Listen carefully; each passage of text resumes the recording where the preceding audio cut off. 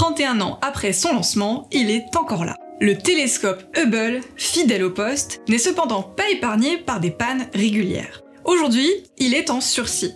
Pendant ce temps, la NASA est en train de déployer un nouvel observatoire spatial, le James Webb.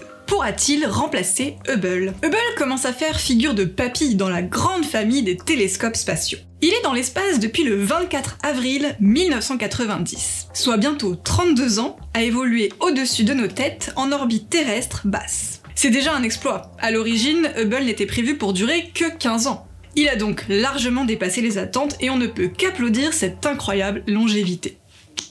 Cela a notamment été permis par les missions de maintenance et le travail des astronautes qui l'ont réparé à 5 reprises. Encore plus épatant, depuis plus de 10 ans, aucun humain n'a touché le télescope et on arrive encore à le faire fonctionner. Pas mal, non?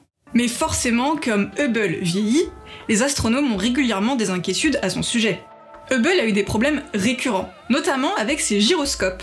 Ils permettent de mesurer sa vitesse et son orientation dans l'espace. Hubble en possède 6, 3 pour pouvoir se positionner et 3 de secours. Dès qu'un gyroscope meurt, cela nous approche de la fin du télescope. Pour l'instant, il y a toujours eu un gyroscope de secours permettant de continuer les opérations. Mais aujourd'hui, trois gyroscopes sont en panne, il n'y en a plus d'avance. Hubble a connu un problème inédit en juin 2021, une panne de son ordinateur de bord. C'est lui qui permet de contrôler les instruments scientifiques de Hubble.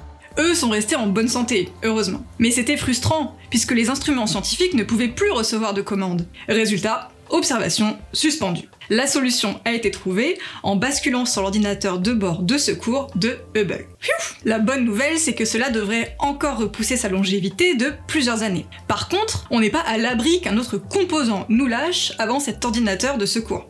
Hubble pourra encore fonctionner avec deux, mais il pourra moins facilement s'orienter dans l'espace. Et le jour où il ne reste plus qu'un gyroscope, c'est la fin. Sans parler du fait qu'il y a aussi les instruments qui vieillissent les détecteurs et caméras qui se dégradent et perdent en sensibilité. D'ailleurs, Hubble a connu une autre panne, en octobre 2021. Cette fois-là, c'était à cause d'un problème de synchronisation au niveau de ses communications internes. La NASA a tâtonné pour résoudre le souci, heureusement, tout s'est encore bien fini. Bref, vous avez compris le message, Hubble, le télescope spatial iconique, est en sursis. Mais ça tombe bien, la NASA est justement en train de déployer le James Webb dans l'espace. Il va pouvoir remplacer Hubble. Comme ça, Hubble va pouvoir aller au paradis des télescopes sereinement. Non, pas tout à fait. C'est indéniable, le James Webb va supplanter Hubble par sa sensibilité. Mais il serait faux d'espérer qu'il puisse complètement remplacer Hubble. Et oui Hubble, tu es unique. La NASA le dit elle-même. Webb est souvent appelé le remplaçant de Hubble, mais nous préférons l'appeler son successeur.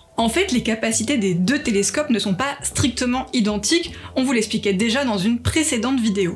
Les deux télescopes ne sont pas équipés pour voir dans les mêmes longueurs d'onde de la lumière. Hubble observe dans l'infrarouge proche, le James Webb verra l'univers jusque dans l'infrarouge moyen. C'est comme si Hubble voyait des galaxies enfants, tandis que le James Webb verra des bébés galaxies. Par contre, Hubble est le seul à voir dans l'ultraviolet, le James Webb ne peut pas le faire. Ce qui veut dire que lorsque Hubble ne fonctionnera plus, on ne pourra plus faire ce type d'observation. En plus de ça, le design des deux engins est assez différent. D'un côté, on a un télescope avec un miroir primaire circulaire de 2,4 mètres de haut. De l'autre, on a un télescope avec un miroir primaire segmenté de 6,5 mètres de forme hexagonale. Et il n'évolue pas du tout au même endroit dans l'espace. Hubble est en orbite terrestre à environ 575 km d'altitude. Le James Webb est en train de voyager vers sa localisation finale à 1,5 million de kilomètres de la Terre où il sera protégé de la chaleur du Soleil. Le James Webb ne pourra pas remplacer Hubble, ce n'est pas son rôle. Même si le James Webb est fabuleux,